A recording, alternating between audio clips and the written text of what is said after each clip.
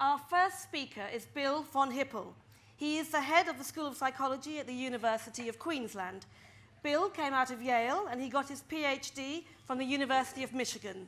He's published over 80 papers concerned with the evolutionary psychology, self regulation, aging, stereotyping, and prejudice. And he's a fellow of the Institute for Advanced Studies in Berlin.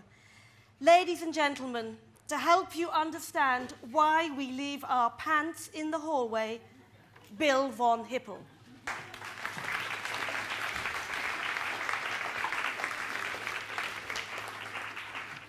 Thank you all very much. I, I fear I'm going to come across as the nerdy academic after that introduction. I can't possibly live up to all the pants in the hallway stuff, but I'll do my best. Um, what I'd like to do, we're going to do a couple of brief scientific experiments today, of which you'll be part. Uh, the first one we're going to start in a moment, but let me just give you a tiny bit of background about what this first one is about, and then we'll give it a crack. Basically, um, I'm sure I assume that all of you are aware that there are anatomical differences between men and women. Um, you're, you're, probably quite familiar with that. But, but what you might not be aware of is the fact that there are also, as a consequence, psychological differences between men and women. Now, when I say that there are anatomical differences, th- that's on average, right? There's a wide variability in what men look like and a wide bit of variability in what women look like, but there's certain differences that you can count on. And psychologically, it looks much the same that these biological differences have actually created psychological differences. And sometimes they create these psychological differences through hormonal factors, sometimes they create them through genetic factors. But in all cases, and all the stuff I want to discuss with you tonight, when I tell you that there are these psychological differences, I'm speaking in general, and I'm not saying that this is how it has to be. And so your genes don't determine you how you are. Your psychological history doesn't determine how you is how you are. It simply nudges you in that direction. But we'll take a look at some of those nudges and see where it takes us.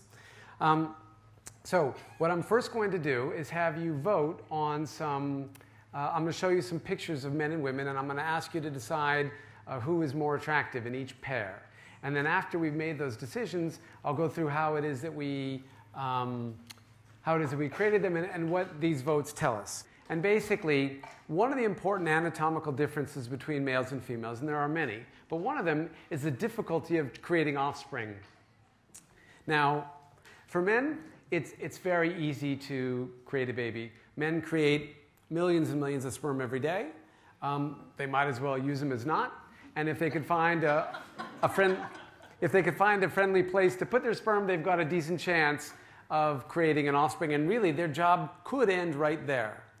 For females, for women, on the other hand, it's, it's a much more dip- difficult proposition.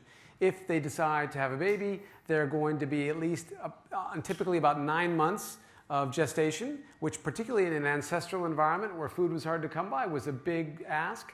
And then in ancestral environments, you typically have anywhere from two to four years of lactation which also is a big ask in an ancestral environment where there's not enough food to come by. I remember when my son was born, it was like watching a liposuction machine attached to my wife, just sucking the fat right out of her. It was extraordinary. And he, he's just turning into a balloon. And this would have been a very difficult thing for our ancestors to do when they were food stressed, when they had trouble getting enough to eat. So that is an important biological difference that has led to important psychological consequences in what men and women are looking for in a partner. Because for men, it's relatively easy to reproduce, and that leads to one set of standards. For women, it's a huge, effortful process to reproduce, and that, that leads to another set of standards and goals. On average, women are going to be more concerned about the quality of their partner than men are. Then men are going to.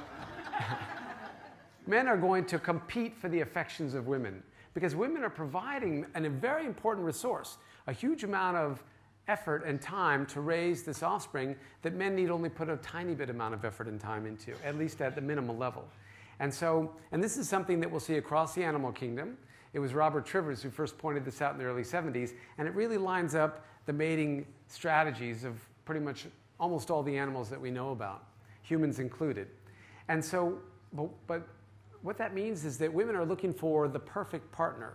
And what that perfect partner is going to be is somebody who has great genes, because of course we know the genes are passed on to the offspring, and somebody who's going to be really helpful in taking care of those offspring that are, that are produced. Um, in today's world, of course, if you're a single mother, you're reasonably confident your child will grow to adulthood. But in hunter gatherer societies, children who are born without a father present had less of a chance of surviving to adulthood. And so women are not they're looking for great genes in their partner and they're also looking for somebody who's really going to be helpful and help them raise their partner uh, how, how are we doing because i'm getting to where we could really use a vote here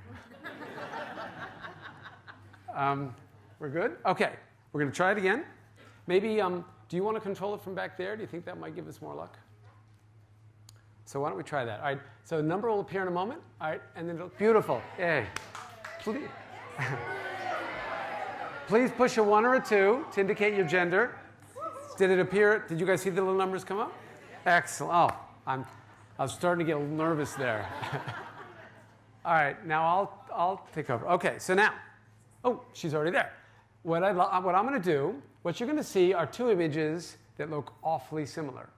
Don't worry about exactly how they're different. Just you decide which one you find more attractive, okay? And so you'll note that one says 1A and one says 2B, and it'll be like that all the way through. As soon as I push the button, the number will again appear on the screen, and then please vote, okay? Push your clicker to see which one you find more attractive. Choose the one that you find better looking. So I'm gonna go ahead and control it, okay? Perfect, so now you've got the 10 seconds to vote on your preferred image. Which of the two and I know they look very similar. Don't worry about that. Okay, we're going to go on to the next one. This is the scientific experiment I, I forewarned you about. Again, same story. Just please indicate, now that the numbers are going, which one you find more attractive. Oh, no. Did it, did it work? All right, push hard. Be strong with these clicker pads. Something's conspiring up here.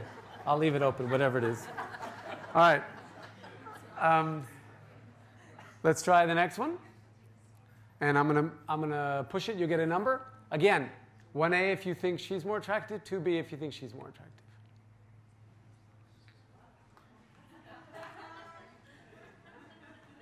Are they working? Okay, thank God. All right. Last one of the women we're going to rate, same story.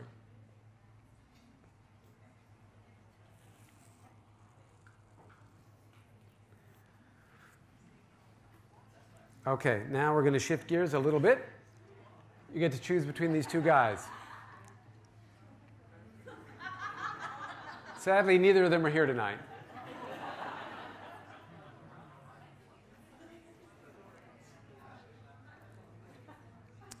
We'll go on to the next one. All right, please vote again. Not working? Push it hard. Okay. I'll start up the timer.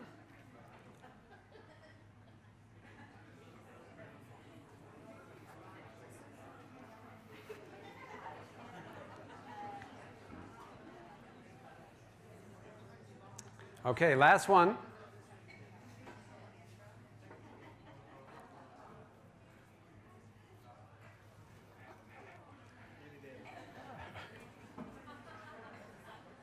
Okay, hopefully most of you were able to vote. Um, now, what do we have? What did I do here? This is actually a research project that's currently underway that Rob and I are collaborating with a number of other people at the University of Queensland looking at the genetics of attraction. And you guys get a sneak preview of it, so to speak. And what we did is the following. The, um, whenever you saw a woman, she was morphed either with number 16 or with number 5 to 20%. So it was her actual face, 80% of the image, and then it was morphed 20% with those two extremes. Whenever you saw a man, it was morphed either with number 2 or with number 10. So you never actually saw the real people in any of those images. What you saw was morphed, images that were morphed in the two different directions. Now, the way these morphs work, this is a, what, what you see here, that's actually a long series of morphs. None of those are an actual individual. but they're morphing from a high testosterone face at number two all the way down to a high estrogen face at number 16. Now, estrogen caps bone growth, and so what will happen is a high estrogen face will be very round, like she is.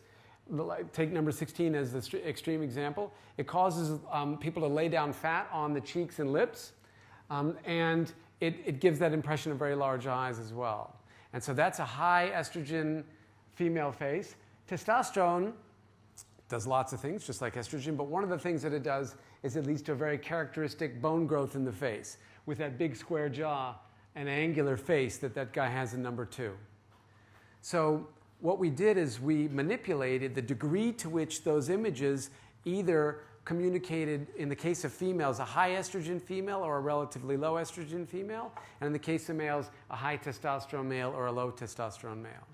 So now we're going to take a look at your votes and see who it is that you prefer. And despite the debacle of actually getting a vote to happen, I'm desperately hoping you guys show us what we know to be the case in the literature so I can continue forward with my planned lecture and I won't have to ad lib it. Okay, so what we see here, I'm so proud of you guys. This is a relief. what we see here is uh, a uniform preference for the female face over the uh, I'm sorry, for the high estrogen, for the high estrogen female face, the more feminine, I'll just call it the more feminine female face, we see a, a uniform preference where, on average, across two thirds of the images of women, both men and women like the more feminine face than the less feminine face, than the more masculinized face. I'll come back to that. What we see in the case of the men is an. Ah, interesting. Not what I expected, you people. Um, we see among the women in this audience an even greater preference for the high masculine men. Well, I think this is revealing. And it may have something to do with the fact that it's Valentine's Day. And it, it, it also suggests to me that a number of you women are ovulating, so you might keep that in mind. Um, the, uh, and the men show less of a preference on that one, which um, I actually wasn't quite sure what the men were going to do. Well, let's back up and talk about why this might be. Basically, although finding the perfect man is very important for women because of the effort that they put into procreation, whereas finding the perfect woman is not so important for men because the act is, can be quite quick and that can be the end of your job. Um, nevertheless, women are actually put in a bit of a bind. And I hate to break this to you, but I'll tell you right now there is no such thing as the perfect man. and, and the reason why there's no such thing is it all comes down to testosterone. Now, testosterone is both good and bad, and that's why there's no perfect solution to this problem that women have faced for millennia.